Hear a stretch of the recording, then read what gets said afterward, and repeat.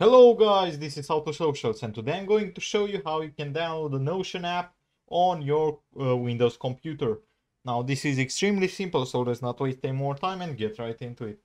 So the first step is you heading over to notion.so which is their official website and uh, after you've done that here your screen should look something like this and we are going to head over to the top uh, side of the screen and Next to product, we will see download. Here we are going to select Mac and Windows.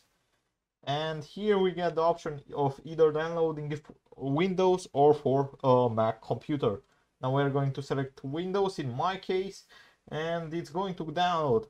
Now the setup has approximately 60 megabytes, uh, which isn't a lot, so you sh it should fit in your computer. So I'm going to wait for it to download and be right back with the setup. So now that it's downloaded, I'm just going to click on the exe file in order to uh, open up the setup. As you can see right here, it's uh, installing straight away uh, from what it seems. And now it already launched, so it was extremely quick. And now the last step is us entering our account in order to log into it. So I'm going to enter my account right now. Now that I've logged in, it's going to ask me to uh, accept uh, some privacy and data collection, which I'm going to agree to.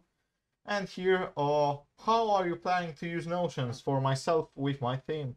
I'm going to uh, say for myself, take me to Notion.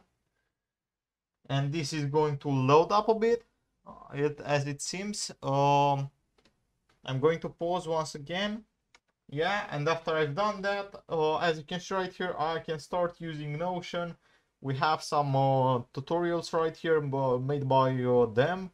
So you can uh, basically learn how to use the app uh, within itself. You don't have to look it up on YouTube.